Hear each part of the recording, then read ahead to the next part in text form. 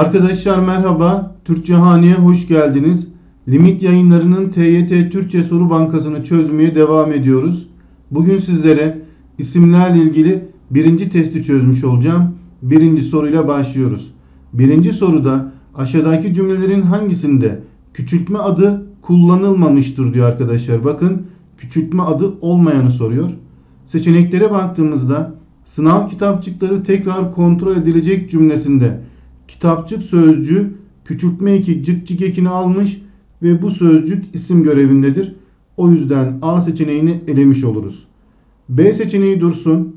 Hediyeleri kutucuklara yerleştirmenizi istiyorum cümlesinde kutucuk sözcüğü bakın yine küçültme eki olan cık ekini almış ve kutucuk sözcüğü de burada yine isim görevindedir. Yavrucak kaç yıldır babasını bekliyordu? Yavrucak sözcüğü cık cık küçültme ekini almış. Bazen bu cak cek olur. Sözcüğün gelişine göre arkadaşlar cuk cuk eki olabilir. Yavrucak kelimesi de burada yine isim görevindedir. Bunu delemiş oluruz. C'yi delemiş olduk. Bu derecik birçok köyün su ihtiyacını karşılıyor cümlesinde derecik kelimesi bakın yine küçültme ekimizi almış cık cık ekini ve bu sözcükte nedir? İsim görevindedir. O yüzden E seçeneğinde elemiş oluruz. B seçeneğine baktığımızda ise küçücük elleriyle tutmuştu kocaman kitabı cümlesinde eller sözcüğü nedir? İsimdir. Arkadaşlar eller nasıl eller? Küçücük eller. İsimlere sorduğumuz nasıl sorusu bize neyi verir? Niteleme sıfatını verir. Bakın burada cukcuk ekini almış sözcük isim görevinde değil niteleme sıfatı görevinde. Bize de küçültme adı kullanılmayanı sormuştu. O yüzden doğru cevabımız B seçeneği olacaktır. İkinci soru. Aşağıdakilerin hangisinde dandan eki cümleye neden sonuç anlamı katmıştır? Arkadaşlar dandan eki isim çekim eklerinden olan ayrılma harekidir. Yani ayrılma durum ekidir. Seçeneklere bakalım. Uzaktan gören beni mesut sanıyor cümlesinde bakın ayrılma hal ekini almış fakat cümleye neden sonuç anlamı katmamış. O yüzden bunu elemiş oluruz. Yaşlı adam artık yerinden bile kalkamıyordu. Bakın yerinden kelimesinde dandan ekini görüyoruz. Fakat arkadaşlar burada neden sonuç anlamı yok. Bunu denemiş oluruz. Senin söylediklerinden hiçbir şey anlayamadık. Yine dan den ekini almış. Ayrılma hal ekini almış sözcük fakat neden sonuç anlamı katmamış. Bunu denemiş oluruz. Hastanın durumunun günden güne düzeliyordu. Bakın burada da yine ayrılma hal ekini görüyoruz. Neden sonuç anlamı katmadığı için bunu denemiş oluruz. Eve geç geldiğinden babası çok kızmıştı. Bakın ayrılma hal ekini almış. Kızmıştı fiil ve nedir arkadaşlar burası? Sonuçtur. Şimdi soruyoruz. Neden kızmıştı? Eve geç geldiği için. Burası da neden bildiriyor? Dandan eki de eklendiği cümleye neden sonuç anlamı katmış. O yüzden doğru cevabımız da E seçeneği olacaktır. Üçüncü soru. Lar eki iyilik ekiyle kalıplaşarak zaman kavramı veya genelleme kavramı sağlar. Aşağıdaki cümlelerin hangisinde bu açıklamayı örneklendirecek bir kullanım yoktur demiş. Sabahları erkenden kalkıp işe giderdi. Bakın sabahları kelimesi larler çoğul ekini almış. Şimdi giderdi fiil. Ne zaman giderdi? Sabahları. Görmüş olduğunuz gibi fiile sorduğumuz ne zaman sorusu bize neyi verir arkadaşlar? Zaman zarfını verir. Buradaki larler eki de cümlede zaman anlamı katmış. Bu ifade yukarıdaki açıklamaya uygundur. O yüzden A seçeneğini elemiş oluruz. Yazları mutlaka memleketine giderdi. Bakın yine yazları kelimesi larler çoğul ekini almış. Giderdi fiil. Ne zaman giderdi? Yazları giderdi. Yine fiile sorduğumuz ne zaman sorusu bize zaman zarfını verdi. Dolayısıyla yazları sözcüğü zaman anlamı kazanmış larler ekiyle birlikte. Bu da yukarıdaki açıklamaya uygundur. Bunu da elemiş oluruz. C seçeneği dursun. Akşamları sahilde oturup denizi seyrederdi. Bakın larler ekini gördük. Seyrederdi nedir arkadaşlar? Seyretmek fiildir. Ne zaman seyrederdi? Akşamları seyrederdi. Yine ne zaman sorusuna cevap verdiği için akşamları sözcüğü nedir? Zaman zarfıdır. Dolayısıyla larler eki bu sözcükle beraber cümleye zaman kavramı sağlamış. Bundan dolayı biz D seçeneğini denemiş oluruz. Gündüzleri yemek için eve uğrardı. Larler ekini gördük. Uğramak nedir? Fiildir. Ne zaman uğrardı? Gündüzleri.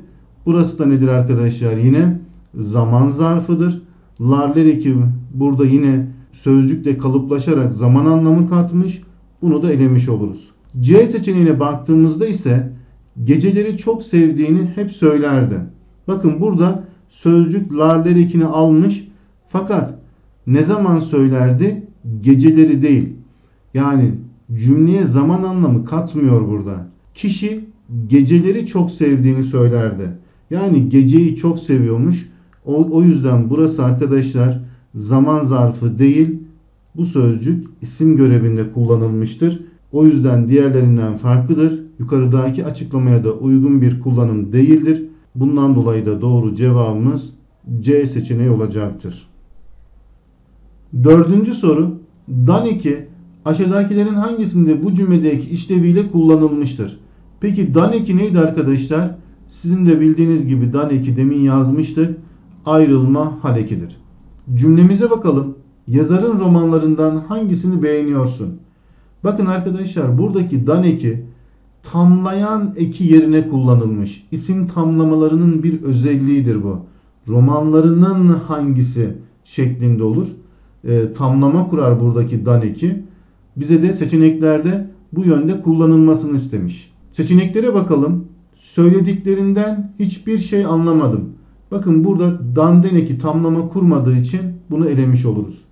Herkesten önce ben geldim. Yine ayrılma halekini alan sözcüğü gördük. Fakat bu da tamlama kurmamış. Bunu denemiş oluruz. Sıradan eserleri hiç okumam. Arkadaşlar burada da dan ekini görüyoruz. Ama ın eki yerine bu da kullanılmamıştır. Bunu denemiş oluruz. D seçeneği dursun. Okuldan az önce geldi. Yine ayrılma haleki olan dandan ekini gördük. Burada da ayrılma haleki olarak kullanılmış. Bunu da elemiş oluruz. D seçeneğine baktığımızda ise çocuklardan bir yere düştü. Bakın çocukların bir yere düştü şeklinde olur. Dolayısıyla bu dan eki tamlayan eki yerine kullanılmış. Tamlama oluşturuyor. Yukarıdaki örneğe uygun olduğunu görüyoruz. O yüzden doğru cevabımız da D seçeneği olacaktır. Beşinci soru. Aşağıdaki dizelerin hangisinde soyut bir ad kullanılmamıştır diyor. Soyut ad neydi arkadaşlar? Beş duyu organıyla algılayamadığımız sözcüklerde. A seçeneğine bakalım. Ne azap ne sitem bu yalnızlıktan kime ne açılmaz duvar bendedir. Bakın azap, sitem ve yalnızlık sözcükleri nedir arkadaşlar? Soyut sözcüklerdir. Burada kullanıldığını görüyoruz. O yüzden A seçeneğini elemiş oluruz. B seçeneği dursun. Ne içindeyim zamanın ne de büsbütün dışında ifadesinde zaman sözcüğü soyuttur. Beş duyu organıyla algılanamaz. O yüzden C seçeneğini elemiş oluruz. Yüzün bir sebepsiz korkuyla uçuk, arkandan çepeçevre kızıl bir ufuk ifadesinde korku da arkadaşlar beş duyu organıyla algılanamaz, soyuttur. Bundan dolayı D seçeneğini denemiş oluruz. Ne bir hasret dinle ne bir ah işit bir yaprak ol esen rüzgarlarla git ifadesinde yine hasret sözcüğü soyuttur. Beş duyu organıyla algılanamaz. O yüzden E seçeneğini denemiş oluruz. B seçeneğinde ise süslenmiş gemiler geçse açıktan sanırım gittiği diyar bendedir. Bakın arkadaşlar burada bütün kelimeler somuttur. Soyut değildir arkadaşlar. O yüzden doğru cevabımız da B seçeneği olacaktır. Altıncı soru. Aşağıdaki altı çizili tür adlarından hangisi türünün tamamını ya da bir bölümünü karşılayacak biçimde kullanılmamıştır? Gül rengine bağlı olarak farklı şeyleri ifade eder. Bakın gül diyerek arkadaşlar bütün gül türleri kastedilmiş. O yüzden burada bir ne var? Genelleme var. Bundan dolayı A seçeneğini elemiş oluruz. Şiir sözcüklerin ruhunun en gizli yönlerinin açığa çıktığı bir türdür. Bakın şiir diyerek de tüm şiirleri ne yapmış? Genelleme yapmış. Bundan dolayı B seçeneğini elemiş oluruz. C seçeneği dursun. Rüya insanın yaşamak isteyip de yaşamadıklarını açığa çıkarır. Rüya kelimesiyle burada yine bir genelleme yaptığını görüyoruz. Tüm rüyalardan bahsediyor. Bundan dolayı D seçeneğini elemiş oluruz. Kitap binbir güzelliği ve düşünceyi insanın gözlerinin önüne serer. Kitap kelimesi de burada yine genellemeye tabi tutulmuş. Tüm kitaplar kastediliyor. O yüzden E seçeneğini de elemiş oluruz. C seçeneğine baktığımızda ise roman savaş yıllarına ışık tuttuğu için okuyucuların ilgisini çekmiştir diyerek bir eserden bahsediyor. Bir romandan bahsediyor arkadaşlar. Onun hakkında bir değerlendirme yapmış. Dolayısıyla bunun özel olduğunu görüyoruz. Diğerlerinden farklıdır. Bunun için de doğru cevabımız C seçeneği olacaktır. Yedinci soru. Aşağıdaki dizelerin hangisinde yansımadan türemiş bir ad kullanılmıştır? Yansıma sözcükler doğadaki seslerin yazıya aktarılmasıdır. Şimdi bunlara bakalım. Bir donar, bir çatlar dudaklarım. Bakın çat sözcüğü yansımadır. Çattan çatlamak olmuş arkadaşlar. Dolayısıyla bu sözcük nedir? Fiildir. Bundan dolayı A seçeneğini elemiş oluruz.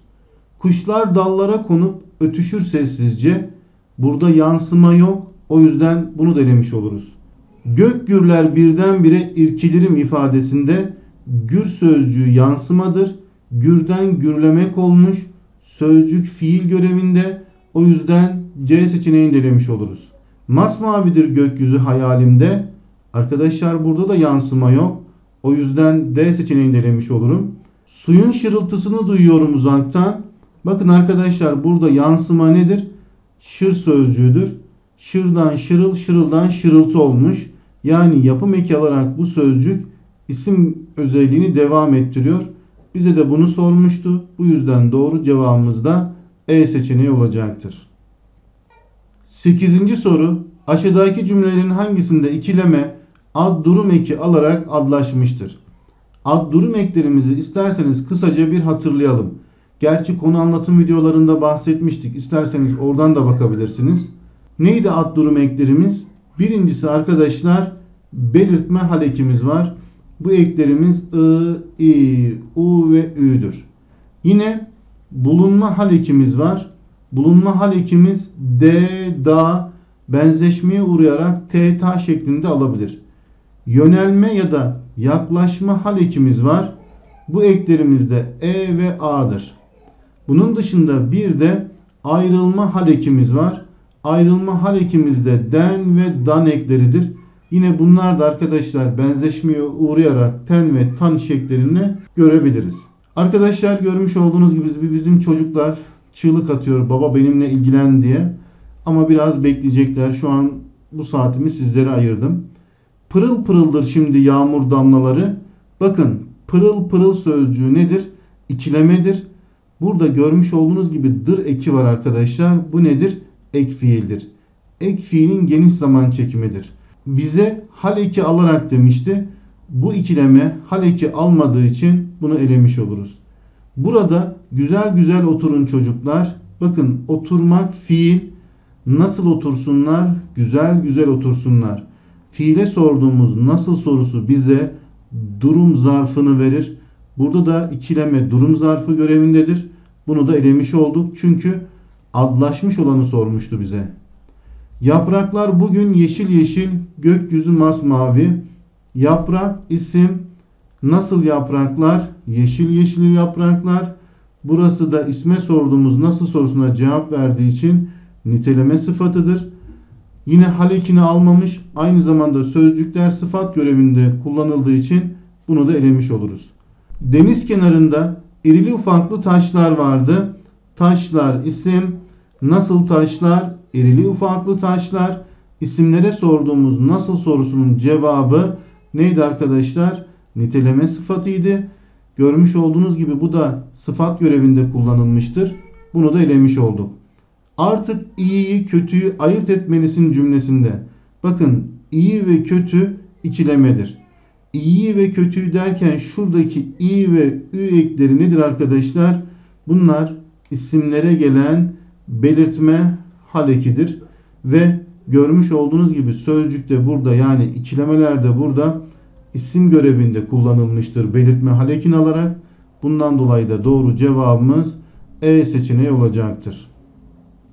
Dokuzuncu soru. Bu dizilerdeki altı çizili sözcüklerden hangisi somut bir ad değildir? Somut sözcükler 5 duyu organıyla algılayabildiğimiz sözcüklere denir. Parçamıza bakalım. Ben bir halk şairiyim. Gökte yıldız kadar yer gezdim. Kalbimde sızım, omzumda sazım, alnımda kara yazım. Takılmışım bir aşık ustanın peşine. Bakın burada alın kelimesi somuttur. Görme duyu organına hitap eder. Saz kelimesi yine somuttur. Görme duyu organına hitap eder. Omuz kelimesi somuttur. Yine arkadaşlar nedir? Görme duyu organına hitap eder. Gökte sözcüğü somuttur. Bu da yine nedir arkadaşlar? Görme duyu organına hitap eder. Aslında sızı da bir e, nedir? Somut bir sözcüktür. Fakat burada diyor ki kalbimdeki sızı diyor. Kalbimdeki sızı diyerek aşk acısı çektiğini söylemiş. O yüzden bu sözcük soyuttur. Aşk acısı 5 duyu organına hitap etmez. Bundan dolayı da doğru cevabımız B seçeneği olacaktır. 10. soru. Bu cümledeki numaralanmış sözcüklerden hangisi tür bakımından ötekilerden farklıdır? Bir numaralı sözcüğe baktığımızda güzellik burada nedir arkadaşlar? İsimdir. Nasıl güzellikler? Doğal güzellikler. İsimlere sorduğumuz nasıl sorusunun cevabı niteleme sıfatıdır. Burada da doğal kelimesi niteleme sıfatı görevinde kullanılmıştır. Yine mimari isim nasıl mimari? Özgün mimari. İsme sorduğumuz nasıl sorusu niteleme sıfatıdır. Bakın burada da özgün kelimesi niteleme sıfatı görevindedir.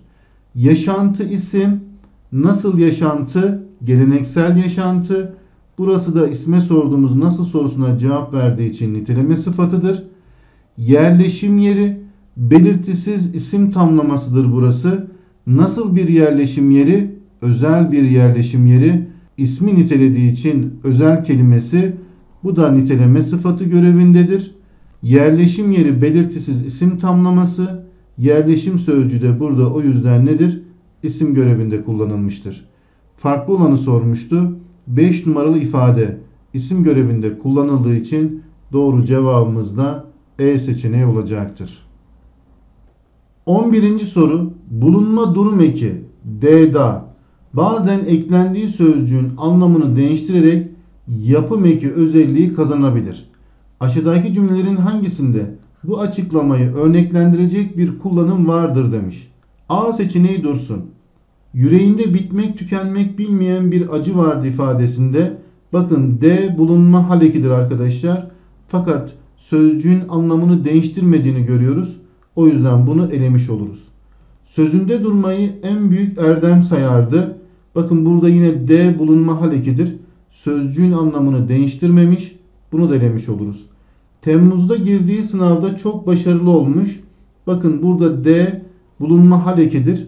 Burada da sözcüğün anlamını değiştirmemiş. Sınavda derken D yine bulunma halekidir. Burada da sözcüğün anlamını değiştirmemiş. Her ikisinde de bulunma haleki görevinde. O yüzden D seçeneğini denemiş oluruz. Orhan Veli'nin şiirlerinde sanatlı söyleyişe rastlanmaz. Bakın burada da D bulunma halekidir ve bu görevde kullanılmış. Ee, burada da anlamı değiştirmiyor. O yüzden E seçeneğini de elemiş oluruz. A seçeneğine baktığımızda ise Yaşar Kemal okuduğu gözde romancılar arasındaymış cümlesinde. Bakın göz sözcüğü burada isim görevindedir. Normalde göz nedir? Bir organ adıdır. Fakat gözde dediğimde burada sözcüğün anlamı değişiyor ve popüler anlamına geliyor arkadaşlar. O yüzden buradaki D bulunma haleki değil arkadaşlar. İsimden isim yapım ekidir ve yukarıdaki açıklamaya uygun olduğunu görüyoruz. Bundan dolayı da doğru cevabımız A seçeneği olacaktır. 12. soru bu dizelerde aşağıdakilerden hangisinin örneği yoktur demiş. Soyut ad var mı? Bakın düşünce kelimesi burada nedir? Soyuttur. 5 duyu organıyla algılayamadığımız bir sözcüktür. O yüzden B seçeneğini elemiş oluruz. Peki topluluk adı var mı? Bu da var arkadaşlar. Orman kelimesi burada topluluk adıdır. O yüzden C seçeneğini de elemiş oluruz. Tür adı var mı? Tür adı da var. Bakın kar var arkadaşlar. Sonra e, gece kelimesini görüyoruz. Yağmur kelimesini görüyoruz. Bunlar tür adıdır. Bunu da elemiş oluruz. Somut ad var mı? Somut ad da var. Kar var, yağmur var, gece var. Bunlar da somut addır. Bunu da elemiş oluruz. Ama bu parçada görmüş olduğunuz gibi özel ad yok. Yani eşi ve benzeri olmayan bir sözcük yok arkadaşlar. O yüzden doğru cevabımız da A seçeneği olacaktır. Evet arkadaşlar bu testin de son sorusuna geldik. 13. soruya. 13. soruda bu cümlede aşağıdakilerden hangisine örnek yoktur demiş. Yalın duruma. Yalın durum haleklerinden herhangi birini almayan sözcüğün bulunduğu durumdur arkadaşlar. Bakın bu parçaya baktığımızda ana kelimesini görüyoruz. Herhangi bir haleki almadığı için burada yalın haldedir bu sözcük. A seçeneği vardır. Bundan dolayı bunu elemiş oluruz. Belirtme durumuna. Belirtme durum eklerimiz I, I, U ve Ü ekleridir. Peki burada nerede görüyoruz? Bakın duygularını derken buradaki I nedir? Sondaki I. Bu arkadaşlar belirtme durum ekidir. Yine göstermelerini derken şuradaki i'nin de belirtme durum eki olduğu görülmektedir. O yüzden B de vardır. Bunu da elemiş oluruz. Peki yaklaşma durumu var mı? Bu ekte E ve A ikimizdir. Parçaya baktığımızda bunun nerede olduğunu görüyoruz. Dillerine derken şuradaki E eki yine yaklaşma ya da diğer adıyla yönelme durum ekidir. Bu da vardır. Bunu da elemiş oluruz. D seçeneği dursun. Bulunma durumuna demiş. Bulunma durum ekimiz D, da ya da arkadaşlar T, ta ekidir. Benzeşmeye uğradığında T, ta şeklini alır. Parçaya baktığımızda ülkemizde demiş. Bakın buradaki D nedir? Bulunma hal ekidir. Başka var mı? Oluşturmadaki derken bakın buradaki ta eki yine bulunma hal ekidir. Dolayısıyla bunun da kullanıldığını görüyoruz. O yüzden biz E seçeneğini elemiş oluruz. Peki bu parçada ayrılma durumu var mı? Ayrılma durum eklerimiz dendan ve tentan ekleridir. Parçaya baktığımızda arkadaşlar dendan ya da tentan ekinin olmadığı görülmektedir. Bu yüzden de doğru cevabımız D seçeneği olacaktır. Evet arkadaşlar bir videonun daha sonuna geldik. Kanalıma abone olduktan sonra bildirimleri açmayı ve kanalımı arkadaşlarınıza tavsiye etmeyi lütfen unutmayın. Bir sonraki videoda buluşmak dileğiyle hepiniz hoşçakalın.